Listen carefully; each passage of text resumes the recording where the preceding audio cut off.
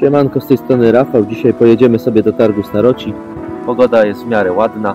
Aktualnie 17 lipca, godzina 8. Pojedziemy sobie Wow! małym pojazdem.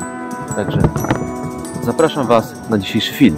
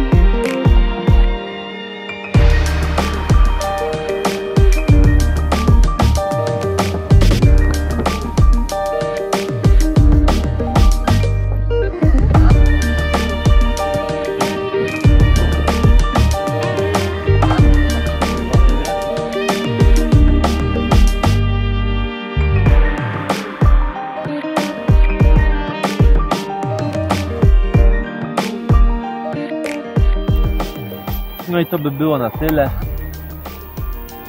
Zrobiłem Wam parę ujęć. Mam nadzieję, że się podobało. I zachęciłem Was do osobistego zobaczenia tego fajnego miejsca.